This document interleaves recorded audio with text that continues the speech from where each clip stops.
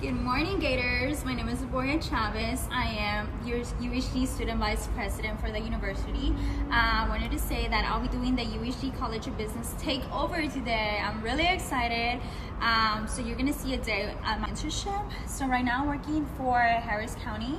Um, I go from 8.30 all the way to 4.30. So you're gonna see a little bit of what I do in a day and I'll give you a few tips on like how to land internships or, you know, for those interviews or anything. Or if you have questions, drop them below and I'll definitely answer them. Have a great day. See y'all. Good morning. How are you? Good, and you? You ready to start? Let's start the day.